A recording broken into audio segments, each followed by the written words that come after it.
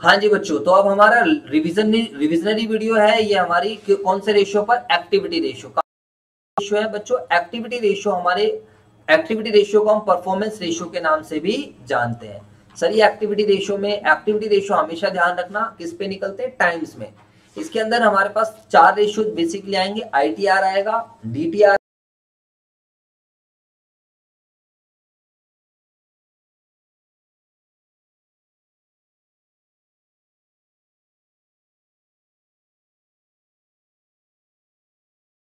capital turnover ratio mainly चार है but data turnover ratio से कनेक्टेड या कोरिलेटेड एक रेशियो मिलेगा, जिसको हम बोलेंगे एवरेज कलेक्शन पीरियड और ट्रेड पेबल टर्नओवर रेशियो से रिलेटेड कौन सा रेशियो मिलेगा?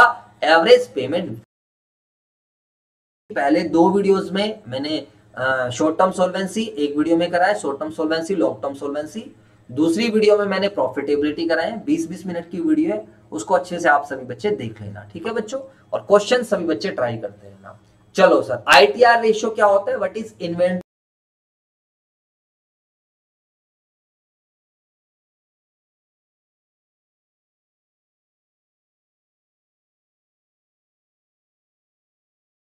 मैंने अपनी एवरेज इन्वेंट्रीज को किसमें कन्वर्ट किया है? सेल में। हाउ फ्रीक्वेंटली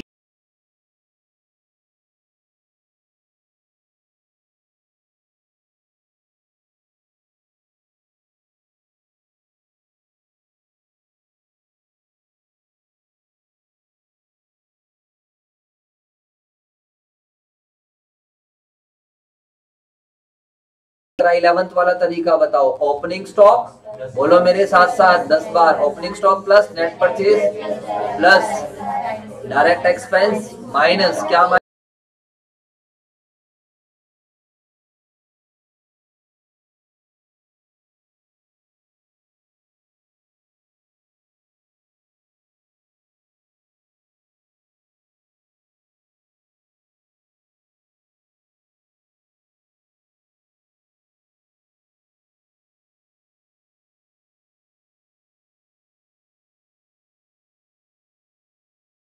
आपके पास है क्वेश्चंस करना स्टार्ट कर दो। क्वेश्चंस में अटकोगे पीछे पड़ जाओ, सर, ये क्वेश्चन बताओ, ये क्वेश्चन बताओ, ये क्वेश्चन बताओ।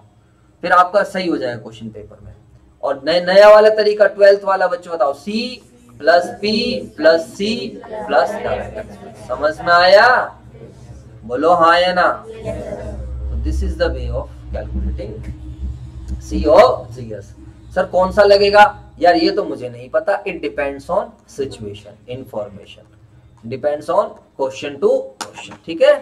एवरेज इन्वेंट्रीज बच्चों वाली चीज़ है। How the average inventories calculated opening inventory plus closing inventory divide by two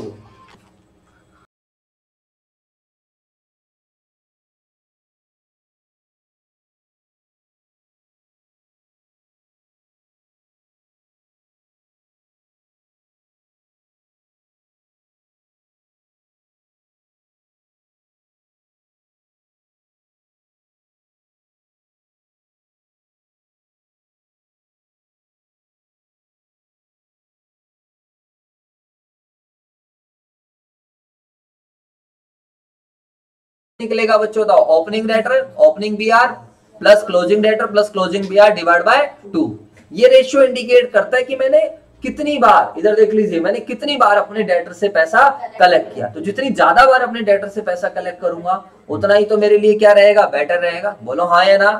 How many times funds are collected from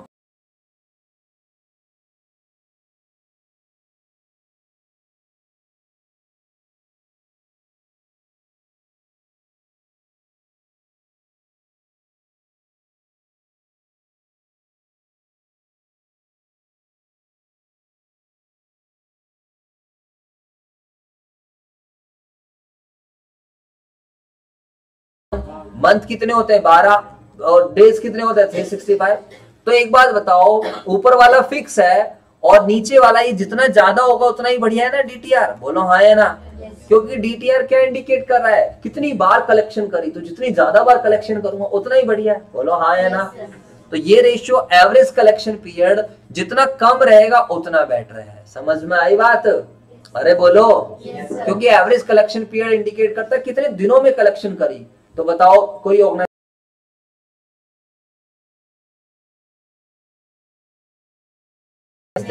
मैं मैं कभी ये थोड़ी चाहूँगा आपसे कि आप महीने के एंड में पैसा दो। मैं तो चाहूँगा पहले दिन ही पैसा दे दो। बोलो हाँ या ना? Yes, क्योंकि एक अपॉर्चुनिटी कॉस्ट रहती है। पैसे से पैसा कमाया जा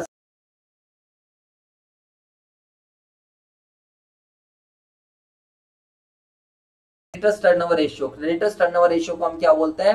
ट्रेड पेबल टर्नओवर रेशियो बोलो हाँ या ना? Yes, और what is trade payable turnover ratio trade payable बनते किससे? क्रेडिट परचेज से। हाँ या ना? Yes, तो credit net credit purchase divide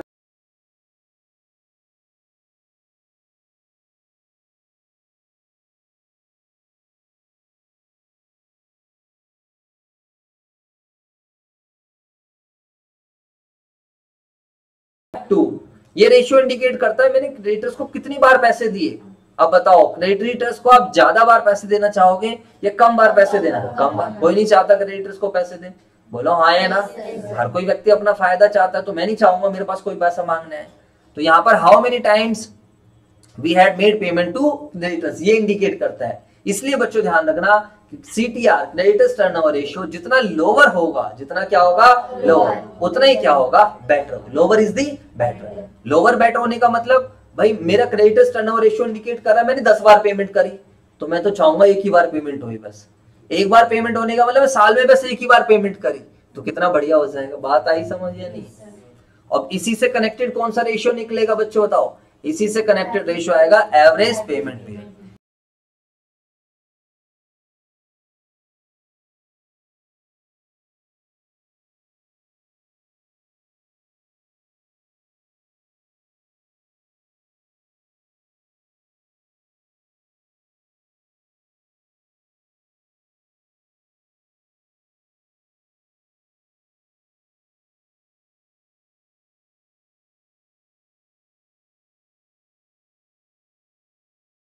जो है एवरेज पेमेंट पीरियड जितना ज़्यादा होगा उतना ही बढ़िया। है क्योंकि मैं क्या चाहूँगा मैं तो साल में एक ही बार पेमेंट करूँ। समझ में आया नहीं आया मैं ये थोड़ी चाहूँगा दस दस दिन में पेमेंट करता रहूँ।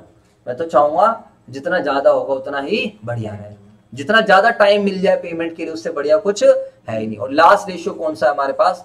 वर्किंग कैपिटल टर्नओवर है ये रेशियो इंडिकेट करता है कि हमने अपनी वर्किंग कैपिटल को कितना एफिशिएंटली यूटिलाइज किया है for the purpose of generation of sales तो ये कैसे निकलेगा net sales divided by net working capital और ये कैसे निकलेगा? नेट सेल्स सभी बच्चों को पता है।